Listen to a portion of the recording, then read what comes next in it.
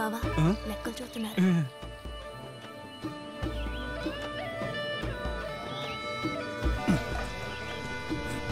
మళ్ళీ మళ్ళీ ఎందుకు ఇలా గుంపులుగా కూర్చోబెట్టి నాటకాలు ఆడుతున్నారు? వాళ్ళు ఏమైనా పద్దులు చూపించుకున్నారా ఏంటి?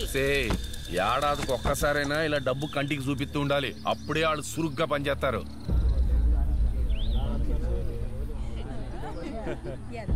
ఎత్తాడు అబ్బాయి సుబ్బలక్ష్మి. నల్ల ఉప్పు నలభై ఈసులు రాగులు నాలుగు కట్ట పొగాకు గొంపలో పన్నెండు తులాలు.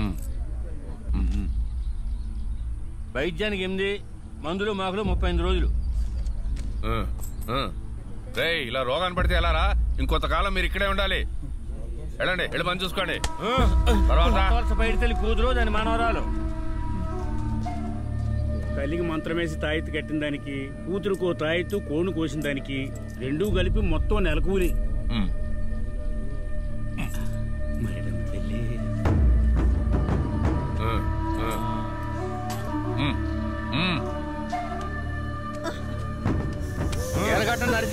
కొండయ్య. నాకు మరో దిక్కు లేదు. నేను ఇక్కడి నుంచి పోను సామె. నా పెళ్ళాం బిడ్డల్ని అడవిగా బలిచ్చాను నేను ఇక్కడ ఉండే సంవత్సరమైంది బావా, సత్తాను. దేనికి నేను పనికిరాడు? సామె.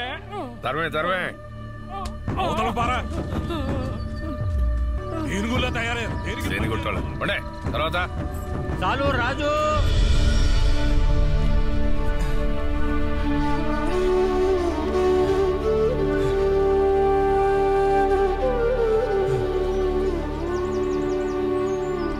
చిగుళ్ళు గిల్లింది రెండు వందల ఎనభై రెండు రోజులు. చెట్లు నరికింది ముప్పై ఎనిమిది రోజులు. సాయిబు నీ లెక్కేంటి? కాంబళ ఒకటి. ఇతర పాత్రలు రెండు ఆ మూడు. కంబళి మూతలు పొగ్గొట్టం ఒకటి నూరు బెళ్ళలు రెండు ఆ నాలుగు. ఆ తర్వాత పొగాకు నాలుగు కట్టలు ఆ దుంపలో తూలం నల్ల బెల్లం పడి ఎనభై ఈసలు రాగులు అబ్బో గొప్ప తిండి తిన్నాడే. నీ లెక్క చెప్పు. ఈడి లెక్కల్లో పరీక్ష చేసినందుకు పదమూడు రోజులు ఉంటూ బొమ్మనందుకు కషాయం మాత్రలు రెండు పూటలకి మొత్తం ఆరు రోజులకి పన్నెండు చేశారు తర్వాత మాత్రలు ఆరు రోజులకి పూటకి మూడు మొత్తం పద్దెనిమిది రోజులు వైద్యం ఖర్చు. తీసుకో. ఊళ్ళో తీసుకున్న డబ్బు వచ్చే దారిలో నెల ఏడు రోజులకి నీ తిండి ఖర్చు. ఇప్పుడు నువ్వు ఉంటున్న గుడిసెకి అద్దె తిన్నందుకు పడుకున్నందుకు అన్నిటికీ వడ్డీ. మొత్తం జమా ఖర్చులని వేసి చూస్తే నువ్వు ఇంకా మూడు సంవత్సరాల రెండు నెలలు పనిచేసి అప్పు తీర్చాలి. దొరకే కింద. బా.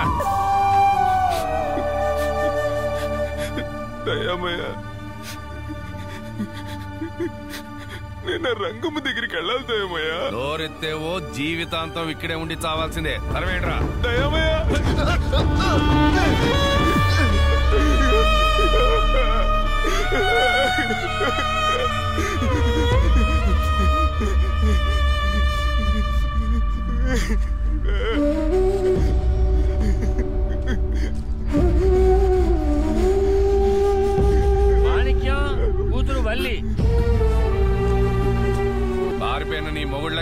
చేస్తాడు. పోవే. పొమ్మంటున్నానా?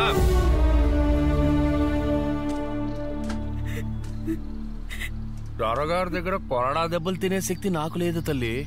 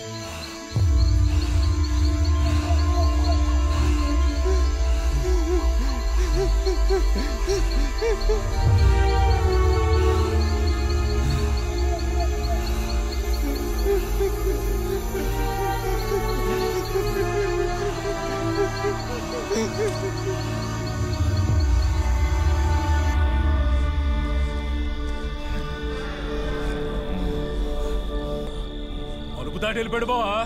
వీడు తక్కువడు కాదు జింకలా పరిగెత్తాడు.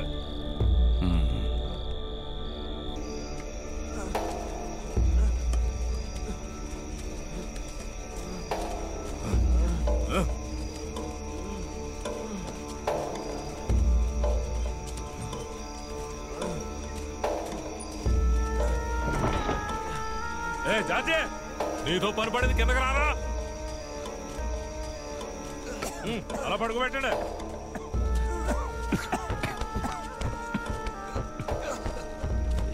నిద్రపోనివ్వరంటరా ప్రతి నెల ఇది గోళ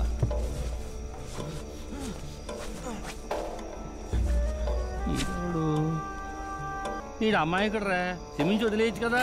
ఓసి పడారే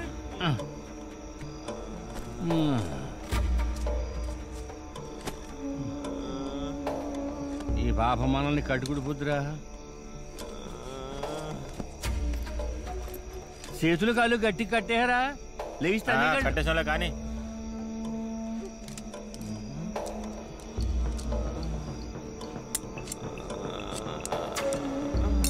దాంతో చూపించరా. దాన్ని అట్రారా?